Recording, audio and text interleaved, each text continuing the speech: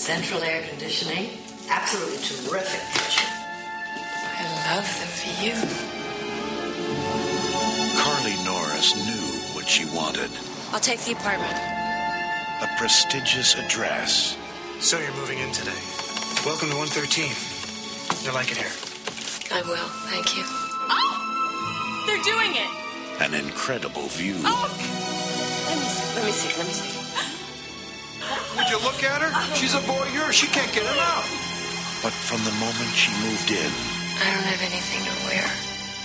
Where would I send you? someone was watching. You can tell me your secrets. What secrets do I have? I'd never tell.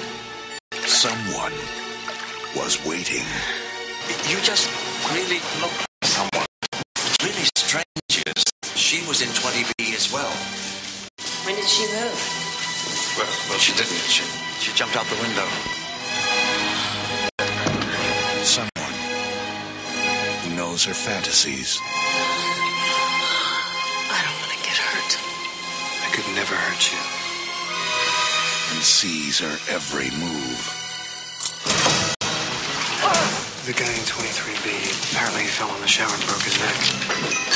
Four people died here in two years.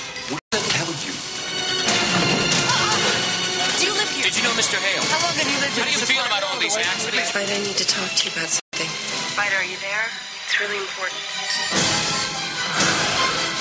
Sharon Stone. William Baldwin. Would you just listen to me? I wouldn't kill anyone. Tom Berenger. He's coming back here, isn't he? At 113 East 38th Street, Making me do something I don't want to do. the view from the outside You ready? Is nothing compared to the view inside.